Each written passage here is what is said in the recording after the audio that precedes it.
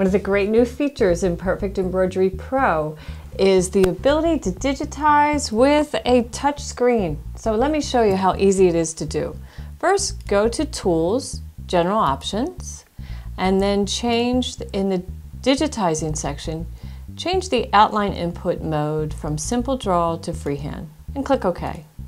And then with your cursor, select the running stitch icon and then just start to draw. So you want to make a simple stipple.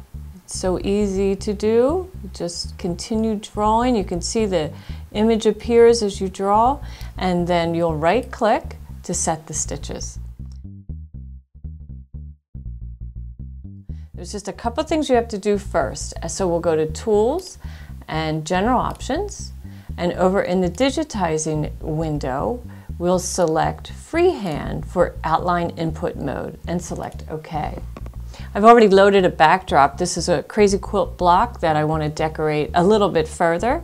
So with the run stitch icon selected and my stylus, I'm just going to draw some stipple right inside this shape and you'll see as I go it actually is going to set the stitches and then I'll just right click and there we have it. Here I could do a, oh, let's do a nice long leaf. And again, we'll just set those stitches, adding the points. And of course, with your shape tool, you can go back in, you can make any minute adjustments or drastic adjustments. It's all up to you.